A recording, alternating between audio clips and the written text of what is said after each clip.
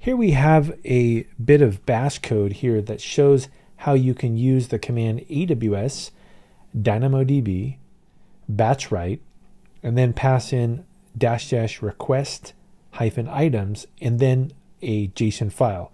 Now, if we look here at this JSON file, we can see that it's got a records.json structure.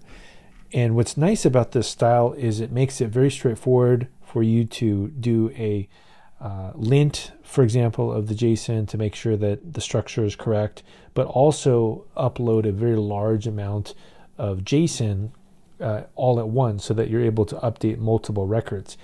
So let's go ahead and run this operation. In order to do that, I'm going to go to the README and just grab this particular command.